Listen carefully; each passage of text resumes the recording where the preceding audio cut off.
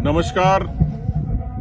आज एक बार फिर से राहुल गांधी जी से मेरा चौथा सवाल है। उनकी यात्रा है।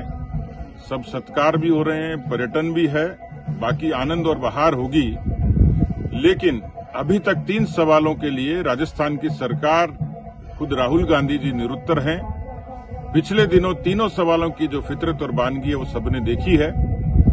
कल जिस तरीके से इंडोन की दशा आप लोगों ने देखी थी, लेकिन आज मेरा चौथा सवाल है, राजस्थान के उन बेरोजगारों के हक में, सर्वाधिक बेरोजगारी राजस्थान में, सत्तर लाख बच्चों ने परीक्षा दी, एक लाख की नौकरी का आंकड़ा सदन में मुख्यमंत्री गिनाते हैं, उनहत्तर लाख के लिए कोई रोड मैप नहीं है, उस पर कोड में खाज का काम करती है, रीट की चीट इस तरीके की अनेक भर्तियों में जो अनियमितता और विसंगतियाँ हुई, ऐसा लगता है कि राजस्थान के नकल माफिया ने नौजवानों के सपने तोड़े हैं। मेरा तमाम इसमें मुद्दे जुड़े हुए हैं संविदा कर्मी भी हैं सीएचए भी हैं।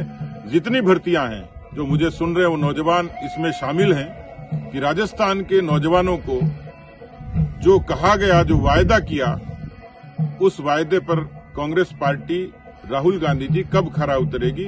राजस्थान के लोगों को रोज़गार की मंशा कब पूरी होगी और बेरोजगारी भत्ते की विसंगति कब दूर होगी?